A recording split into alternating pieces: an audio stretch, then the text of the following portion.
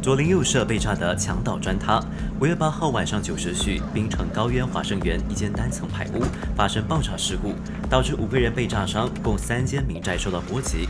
初步调查显示，事故是煤气泄漏所致。找一区周一远方美莱五月九号到滨州中央医院探访伤者。根据英裔女伤者阐述，她带着孩子到家的时候，先打开铁花门，嗅到屋内有煤气味。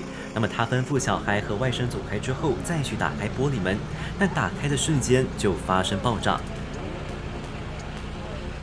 目前五个人暂时没有生命危险，他们都是双手和下半身烧伤，其中一名六岁伤者依然在 ICU 观察，负责开门的妈妈灼伤程度严重，今天必须动手术，另外三名伤者已经转到普通病房。